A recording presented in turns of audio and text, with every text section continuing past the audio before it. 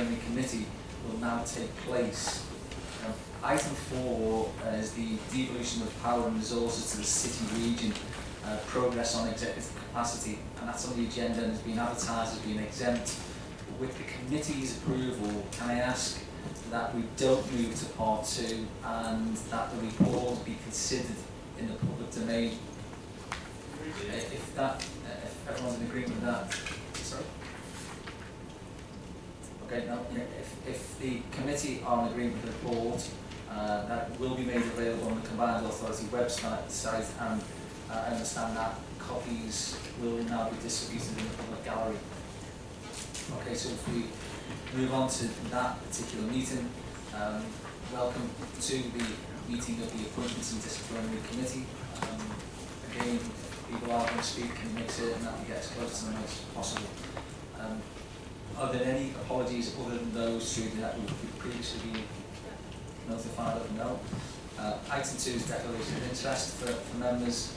Item three uh, is the minutes of the meetings of the Appointments and Disciplinary Committee, which were held on the 15th of September 2017, the 19th of January 2017, and the 14th of February 2018. Ken, I ask if these are agreed, please. Okay. Now, um, as this is materially a new meeting, I need to put the question again. So, it's proposed that the next item should have been exempt. However, upon reflection, it's deemed that this report should be considered within the public domain, and I therefore ask that the resolution not be agreed and members of the public remain in the authority chamber whilst the report is being considered. Is that agreed? Item four then is um, about the uh, executive capacity, and Frank will take us the report, which provides an update on the recruitment of staff to the combined authority, as well as seeking approval of the terms and conditions for employees of the combined authority. Frank.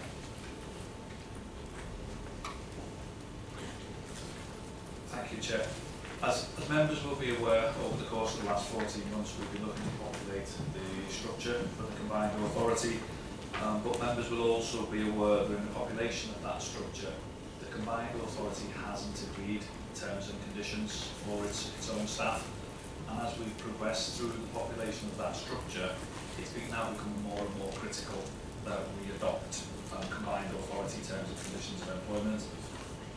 Members have previously agreed that on an interim basis we utilise Merseytravel's terms and conditions of employment, but now that we are starting to populate the structure and we have staff who have moved into the combined authority from the Mosley Employment and Skills team, there are staff who've moved into the combined authority from Merseytravel, and there are secondments from um, constituent authorities and people who've been recruited directly into the combined authority. We now need to agree a set of terms and conditions of employment for, for the CA. We did consider starting fresh and looking at a bespoke set of terms and conditions. We've discussed that with the trade unions, but given that the predominance of staff currently within the combined authority are from a Mersey travel um, transport perspective, and given that the staff who have come in both on secondment and on um, permanent transfer have operated on an interim basis on the Mersey travel terms and conditions, and given that those terms and conditions are already agreed by the appropriate trade unions, the recommendation that put forward to you today is that the combined authority adopts Mersey travel's terms and conditions of employment for combined authority staff.